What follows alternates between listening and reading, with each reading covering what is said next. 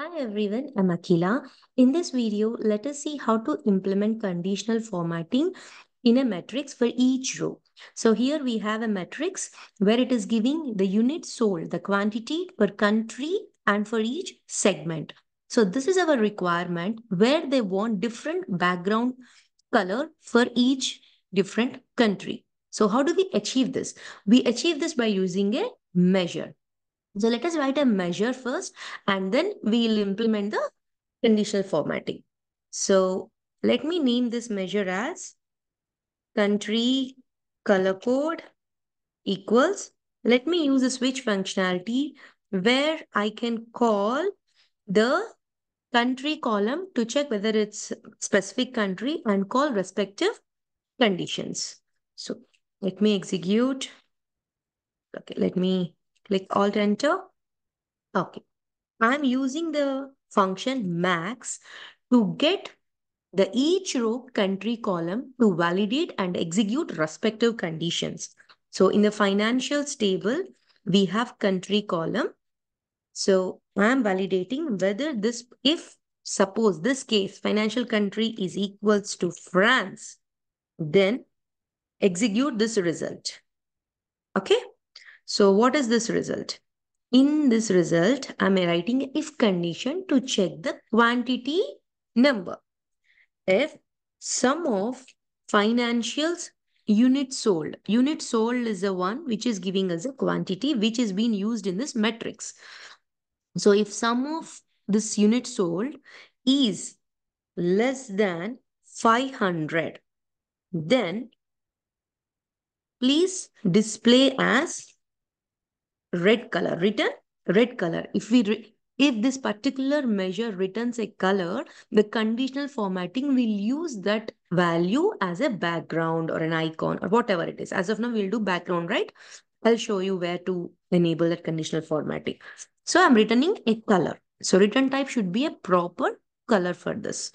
So else else is another if condition I'm writing if, con if condition inside this if condition. So sum of financials units sold is greater than or equals to 500 and sum of financials units sold is less than 1000. See, if it is less than 1000, yellow. Less than 500, red. It means if it is greater than 500 and less than 1000, it should be yellow color, right? So, I'm returning yellow. Okay. If for this first if condition, this is the expression and if it is true, it will execute this. If it is false, it will execute this everything.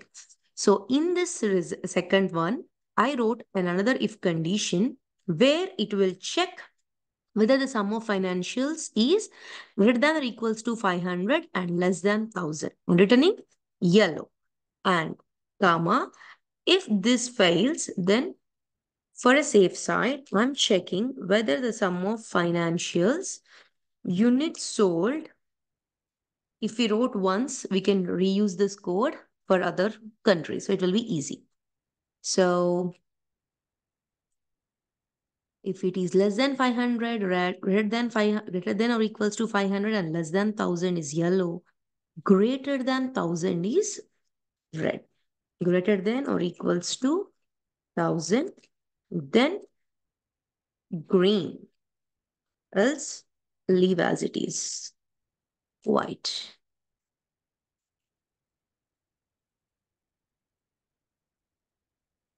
Based on this closure, you'll understand.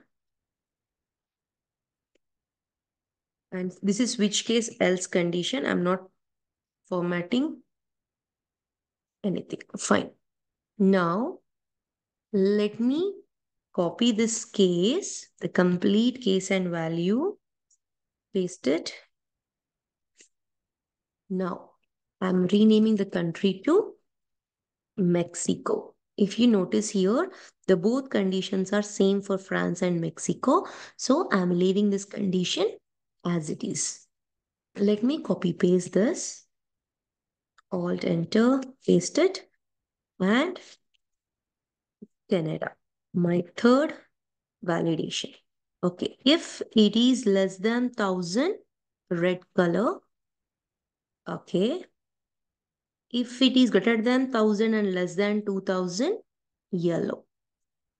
Greater than or equals to 1000, less than 2000, yellow. And if it is greater than 2000, greater than or equals to 2000, green color. Fine. Enter. Now let me use the same formatting for Germany as well. You may say that why can't we check whether this uh, country is in Canada and Germany? We don't know in future they may change this also, right? So it's better to maintain different cases so that whenever it is required, whenever it changes, we'll directly come here and update this. Okay, now let us write an update for US. United States of America. No.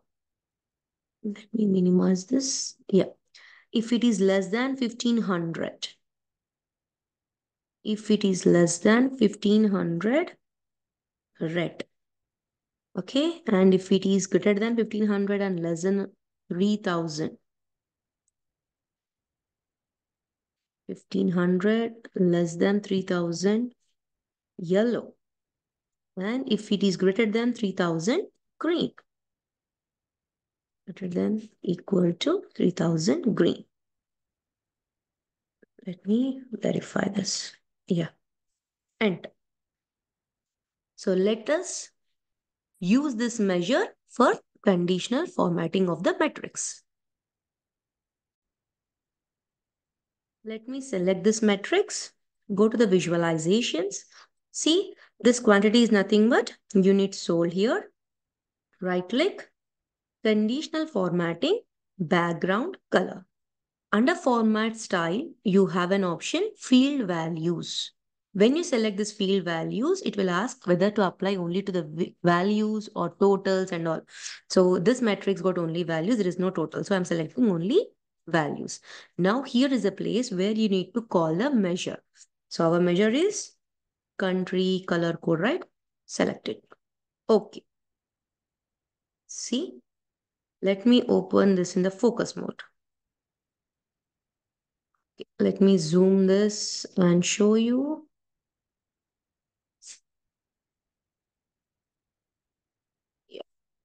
See, for this Canada, the third line, if it is 1000, red color, right? If it is less than 2000, yellow. Greater than 1000 and less than 2000. Greater than 2000, green. Right? And if coming to the France, if it is less than 500, red. See? If it is less than 1000 and greater than 500, it's yellow. There is no value so there is no yellow in this line. Greater than 1000, it's green. This is very useful in real time. There will be many requirements stating that they want different color coding with, with respect to background or an icon, some notation, whatever. But each row different. Hope this is useful. Thank you.